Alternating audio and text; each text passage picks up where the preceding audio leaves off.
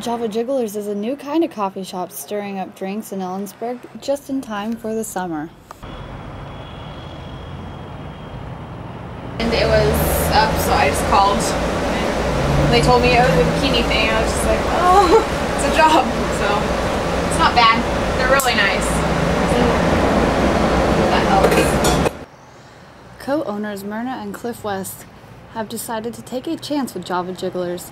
A lot went into opening, and so far the outcome has been a positive learning experience. The baristas, clad in bikini wear, take turns blending coffee from dawn to dusk.